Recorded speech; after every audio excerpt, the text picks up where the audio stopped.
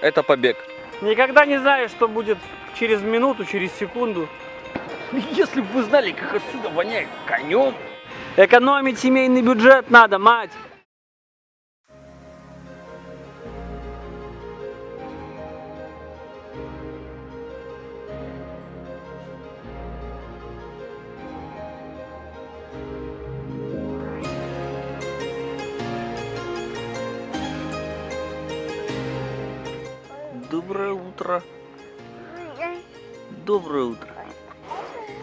Всем привет. День 41. Недельки проснулись на берегу Вислы. Это побег.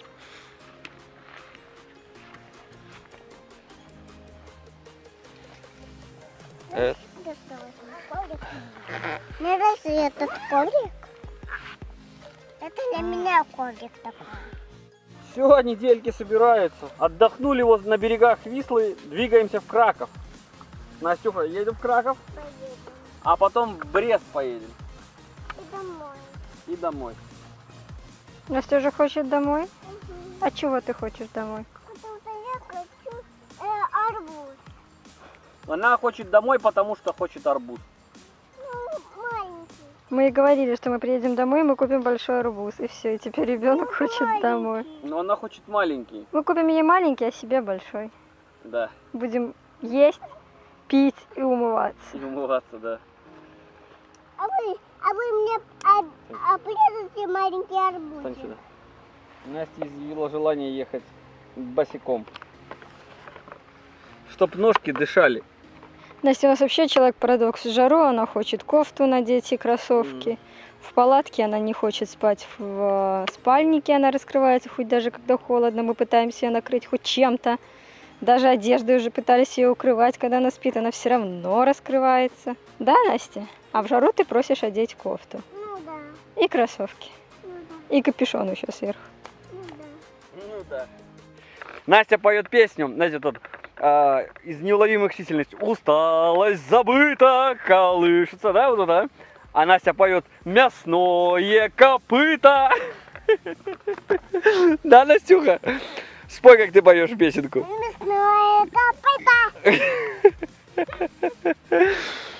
В общем, поехали мы в Краков под мясное копыто. Мясное копыто. Велодорожка вдоль Вислы.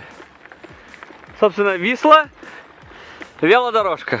Да, грунтовая местами. Мне кажется, поляки как-то асфальт чуть-чуть не рассчитали. Потому что с большего идеальный асфальт, а местами гравейка. Причем такими шел асфальт, прервался кусок гравейки, потом опять асфальт хороший.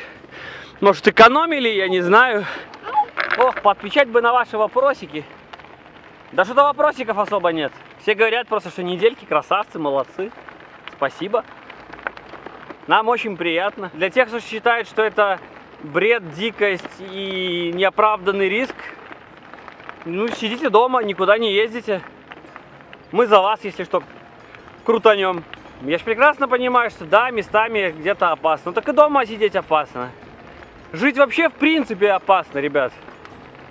Никогда не знаешь, что будет через минуту, через секунду. Вот. Никто не рискует ни детьми, ни собой, поэтому не надо выдумывать. Ну вот опять велодорожка шла, заворачивает на такой тещин язык и вот туда. То есть, ну, тут канал течет, вместо того, чтобы сделать насыпь с мостом, решили обогнуть вот так. Если просто по велодорожке покататься, то это, конечно, замечательно, лишние километры, но не хочется лишнего сейчас катать.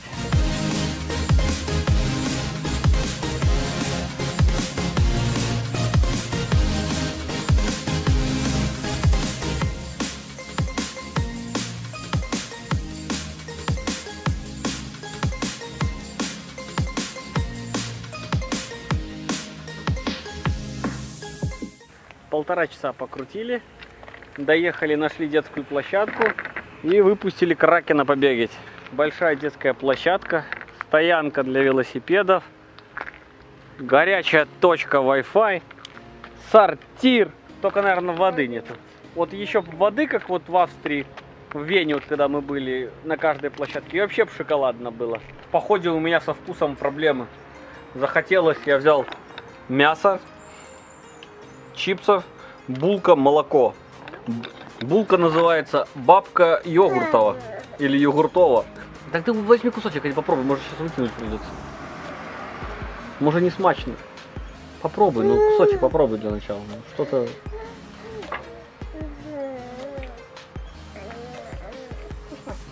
вкусно. Есть и можно. А недельки докрутили до Кракова. На окраине Кракова. 4 часа дня. Наверное, сейчас пару часиков проедем, посмотрим. А там будем думать, что делать. Ну, это два варианта. Либо искать стоянку где-то в городе, либо выезжать и все. А второй вариант выезжать и все, это дешевле. Красивый, ну, не знаю, видно, не видно, монастырь на холме. Класс, красиво смотрится.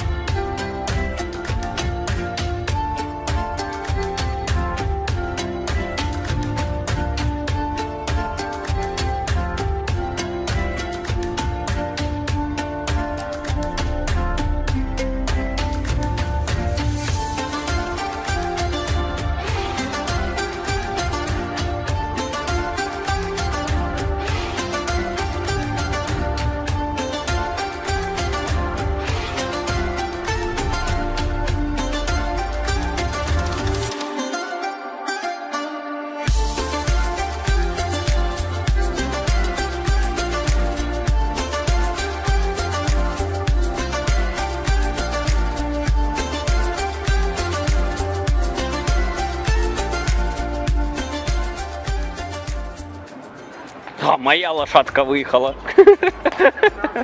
Если бы вы знали, как отсюда воняет конем. А вот почему воняет, кстати. Коняшка надудонила. Nożyce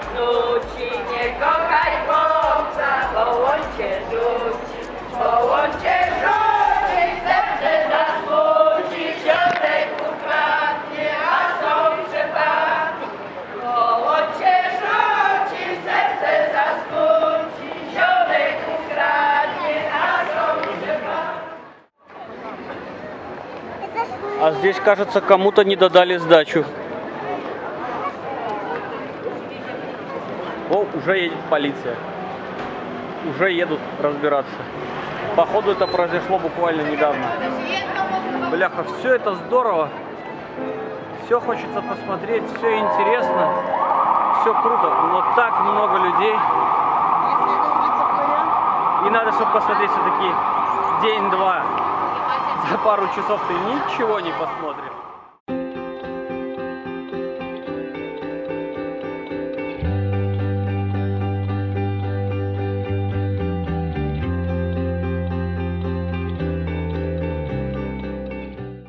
Все, прогулялись по старому городу.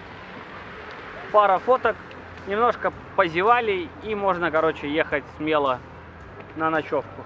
На самом деле Краков это было не цель, которую мы хотели там посмотреть, а движение вот к Кракову это было, чтобы не совсем бессмысленно как-то ехать куда-то.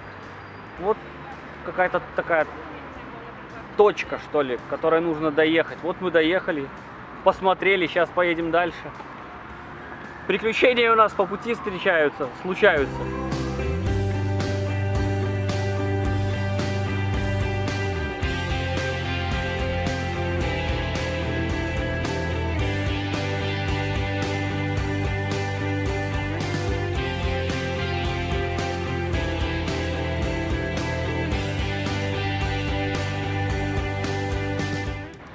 Это свинья жареная. Честно говоря, не знаю, но это какая-то скульптура, что свинья либо сдохла, либо жарят. Все, отправляю маман за продуктами. Я хочу что-нибудь вкусненького. Какой-то большой торговый центр. И здесь велосипедная парковка. И можно подвесить велосипед и, собственно, минимальный набор инструментов. Насос с манометром. Все четко. Классно, удобно. О, стоит надежно. Кстати, шестигранников почему-то нет. Наверное, кому-то были нужнее. Тандем и тандем. Я вот не знаю, мне кажется, нам надо с женой попробовать тандем. Вдвоем-то дури побольше будет. Ммм, сладенько. Хорош. Что такое, доченька? 8 часов вечера, ребенок вполне себе бодр, и даже экскурсия ее не замучила. Э, дык-дык-дык-дык-дык. Дык-дык-дык-дык-дык-дык-дык-дык. Идет коза рогатая. Дык-дык-дык-дык-дык. Как видите, ребенок вполне себе счастлив. И не надо говорить, что это только потому, что ты его щекотишь. В общем, как получилось посмотреть Краков, так получилось. Э, Желания стоять тут несколько дней на самом деле нет. А если даже желание есть, то финансовые возможности уже не позволяют. Сегодня 41 день, а я не олигарх. У меня столько денег нету. Катимся по набережной вдоль Вислы. И ищем какое-то безлюдное место. И будем там ночевать. Возможно, будем ехать и искать долго. Пока мы еще недалеко от старого города. У чувака виха был для двоих. Все, полдесятого недельки добрались на берег Вислы. Не самое лучшее место, но зато вроде тихо и спокойно. Все, будем спать. Да, Настюх? Ну все, до утра.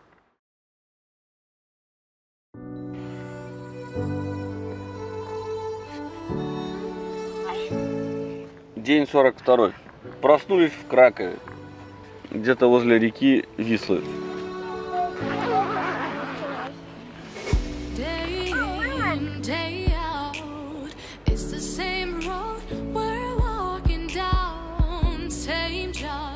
Сегодня нам обещали дождь. Часиков ближе к обеду дождь передавали. Надеюсь, не пойдет. Просушиваю палатку от конденсата немножко. Тент уже просох. Проверить, не забыли ли все. Слизень. Но слизень мы не могли забыть. Точнее, слизень не наш, поэтому мы его не берем. Катя подходит, а у нее в руках слизень. Ой, вообще. Такой огромадный. Мать, проверь еще раз. У телефон. Отличный шлем Полиспорт от нашего технического спонсора on-bike.by. Жиновича 20. Город Минск. Рекламу, да? Выехали и едем дальше по велодорожке. Удобно. Сейчас еще немножко вдоль Вислы проедем. И надо отходить в сторону. Нам уже надо подниматься на северо-восток. чуть меньше 500 километров до погранперехода нам осталось. 42 дня, 1700 километров и 1300 евро.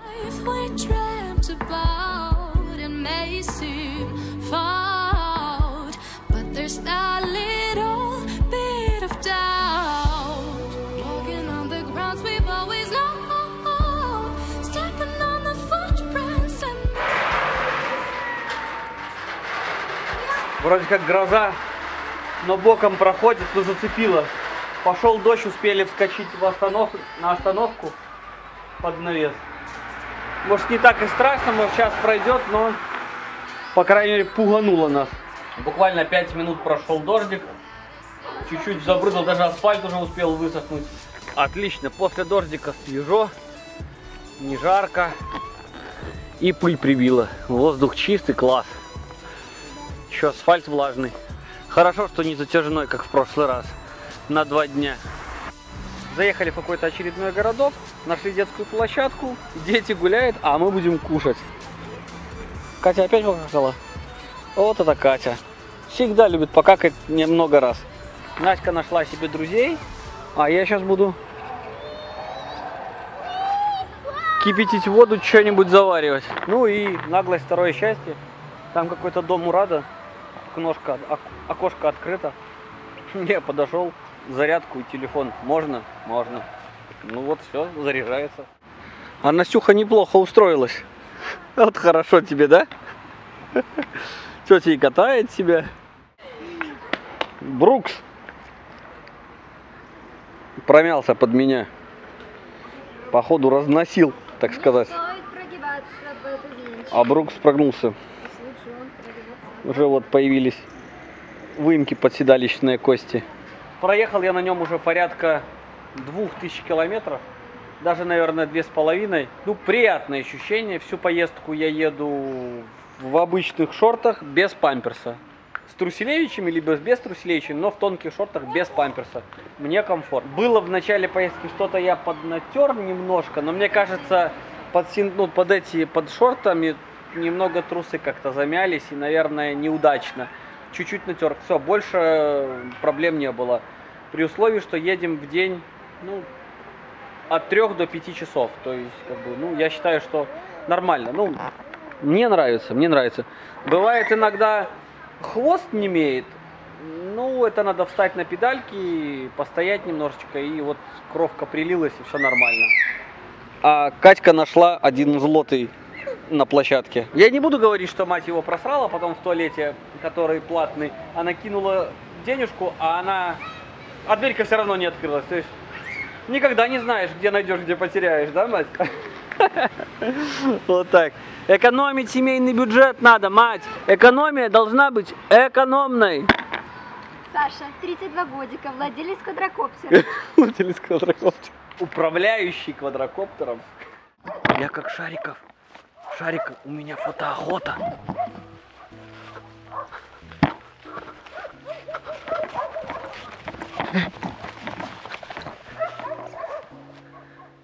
Так, куропатки были. А где олень? Вот паскуда, стоял же тут жрал. Косуля стояла. Собаки залаяли, испугали. Фазаны он бегает, куропатки. Вот этот хитрюга олень, а. Стоял здесь, эту травку щипал. Вот только соберешься фотоохоту устроить. Как на тебе, спугнут. Выехали сегодня с Кракова. Ехали, ехали, ничего особого, что-то как-то и не привлекало внимания. А тут уже не успел достать камеру, проехали в какой-то очередной деревушек магазинчик. Алкомаркет 24, но название Happy. Для тех, кто не знает английского, это счастье. Шикарно. Умеет же делать название, а? Красота. Вот хорошо было, не было дождя целый день, а сейчас опять заморосил. Хотя грех жаловаться, дождь по прогнозу вообще должен был быть целый день. Так что еще неплохо отделались. Но бляха, по мокрому сейчас палатку ставить не очень хочется. Сзади сверкает, гремит. Походу туча нас нагоняет. А нам туда поворота на реку немножко осталось. И будем искать уже место, где ночевать. Проехали 50 километров. Я думаю, сегодня уже и достаточно. С одной стороны светло, с другой стороны темно. Походу, темная сторона сегодня побеждает. Дождь не проблема, детей накроем, сами вымокнем. Ничего, так может мыться не придется. Тоже плюс. Накрываем детей. Все-таки дождь пошел, зараза. Насенька, поставь ножки. Пончо Хамакс. Спасибо, дорогой тете, за подарок детям. Э, Тетя в Москве живет, я ей заказала, она мне задарила. Спасибо. Вот. Сухо тебе, тепленько? Все, дети укрыты. Ну, а мы с маман не сахарные. Пару километров потерпим, хотя дождь реально сильный. Вот, ехали мы вот там. Кстати, в поле зайца видели, прикольно. Почти рядом с нами поднялся. Поднялись сюда на велодорожку, тут велодорожка. Вислана трасса ровера, роверова. И вот здесь думаем где-нибудь стать. Ладно, мать, давай вниз. Ну все, практически прошел дождь. По-бырому поставили палатку. Сначала поставил каркас и внешний тент, потом подстегнул внутреннюю палатку. В дождь особо не приходилось так, ну, ставить, поэтому никогда не пользовал этот метод. Работает, работает. Палатка практически не вымокла. То, что на, на второе дно накапало, я быстро полотенцем убрал. Вот и все. главное, что дети сухие. Все сухие. Там солнышко пробивается. Наверное, уже сейчас и дождь закончится. Туча прошла. Это была, наверное, грозовая. Скоро повылазим из палатки. Конечно. Это был страйк. Дождь прошел, все мокрое, выпустили босиком детей, что вариантов не особо. Шибко красиво, шибко красиво. Конечно, не будь тумана, облаков было бы не так красиво, но сейчас вот прям вот как надо. Даже успел дрон, дрон запустить на всю эту красоту, пока солнышко есть, на закате дать. Очень впечатлило сейчас, то ли пар какой-то, то ли тучи тут все, тут, бляха, очень красиво. Испарина это идет, класс. Очень красиво. Это, если что, река Висла. Мы опять выехали к ней. Завтра с утра продолжим движение по велодорожке. Возможно, более красочные будут кадры. Выехали мы сегодня из Кракова. Все хорошо, дорога была неинтересная, снимать, показывать нечего, эмоций никаких. А, что, что решили? Нам до Бреста 500 километров. Как бы это следующая точка нашего путешествия. Но мы подумали, что слишком какая-то далекая цель, размытая. Придумали себе сделать, сделать промежуточную точку. А, у меня прабабушка из города Сандомир. Это отсюда, где-то, наверное, уже километров 120 километров. Вот, ну и 160 от Кракова. А вот, мы поедем в Сандомир, поедем посмотрим родину моей прабабушки. Там небольшой город, там 23, 23 тысячи вроде бы населения, я вот в Википедии посмотрел. Я там никогда не был, честно говоря, практически ничего не знаю о своей прабабушке. Но знаю, что вот в каких-то там в домовой книге в старой нашел запись, что бабушка из полячка, и вот она из Сандомера. И очень интересно поехать посмотреть. Я давно хотел, но все не получалось. А раз вот уже проездом обязательно заедем, глянем. Вот. Но это мое личное, как бы. Просто любопытно. Так что не араб я, немножечко поляк, но не араб. Если что. Чипсы огонь. Дорого, но вкусно. Вкусные яблочные чипсы. Короче, у меня дед картошку раньше резал мелко. Подержи, пожалуйста. Картошку мелко резал и сушил над плитой. Тут тоже получалось что-то типа это, но не такие хрустящие, как это. Очень вкусно, кисло-сладенькое. М-м. Еще не в каждом магазине найдешь. Я сегодня дорвался, две пачки купил на радостях. Летят на ура, дети с удовольствием кушают. Да, кстати, как перекус детский. М. Ну, надеюсь, вам понравилось. Так что ну, ставьте палец вверх, подписывайтесь на канал и ждите новых видео. Пока!